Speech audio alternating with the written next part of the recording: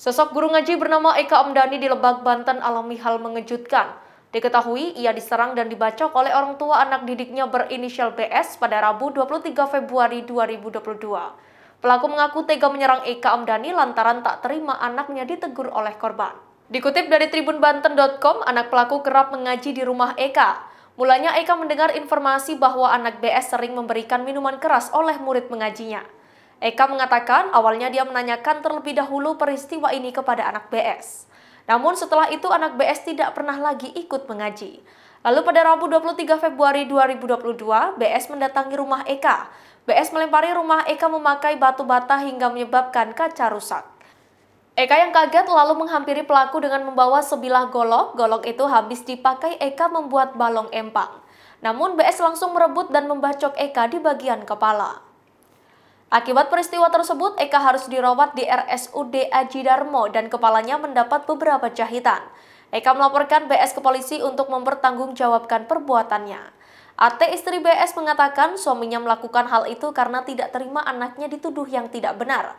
Selain itu, BS mengira Eka akan menyerangnya menggunakan golok. Kasat Reskrim Polres Lebak AKP Indik Rusmono mengatakan pihaknya masih menangani kasus tersebut.